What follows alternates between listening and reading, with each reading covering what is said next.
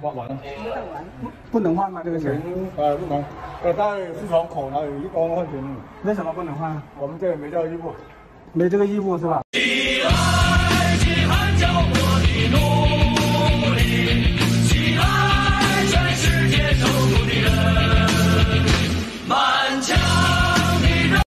歌已不再是当年的歌，不再与春风对。暖阳下，我迎芬芳，是谁家的姑娘？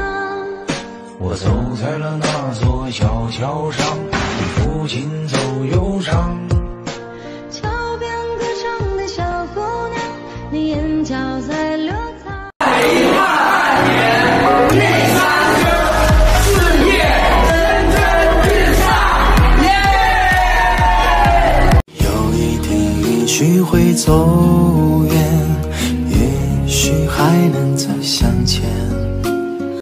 山东六十五岁阿姨插队被拒，小伙子遭暴打，并要求赔偿五十万元，这是怎么回事呢？山东六十五岁李阿姨去打疫苗，因为第一次去晚了，六岁的孙子独自在家，一位好心的年轻人让她插队，早早回了家。这一次又有事去晚了，到那儿一看，门口的队伍就已经排得很长很长了。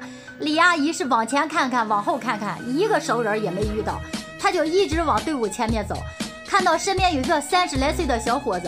这时候啊，李阿姨理直气壮地说：“让他往后边站一下，自己家里有事要插一个队。”但是呢，男子说自己已经排了两个小时了，等会儿呢还要赶时间上班，老板正等着交代工作，就没答应李阿姨的要求。李阿姨一听不让插队，火蹭的一下就上来了，对男子说：“我这么大年纪，你不知道尊老爱幼啊？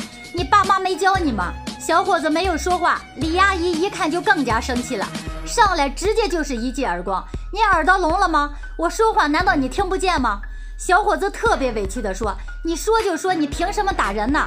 说完呢，就非常气愤地走向了队伍的后方。大伙儿本以为这事就这么过去了，哪成想大妈刚插进队伍里，突然晕倒，倒地不起，急性猝死了。人们赶紧拨打幺二零，送到医院。医生说人已经不行了。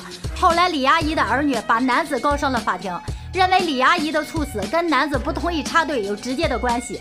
因此呢，要求这位男子赔偿家属精神损失费五十万元。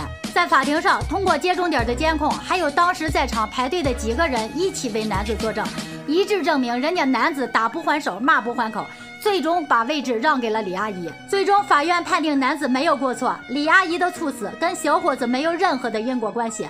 为此，法院驳回了死者家属对男子的全部诉讼请求。